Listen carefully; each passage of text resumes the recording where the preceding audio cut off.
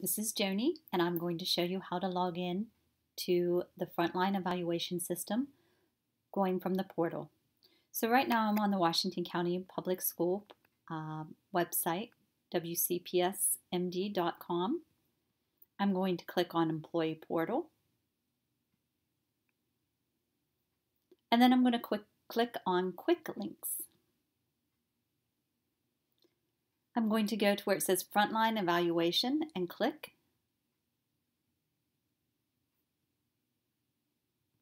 And right here, I'm going to input my information.